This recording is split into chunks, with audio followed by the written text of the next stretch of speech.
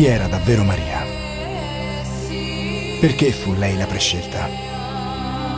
Perché non esiste traccia della sua morte nelle scritture? Nella prima grande produzione originale di Focus, le risposte ad uno dei più affascinanti enigmi religiosi di tutti i tempi.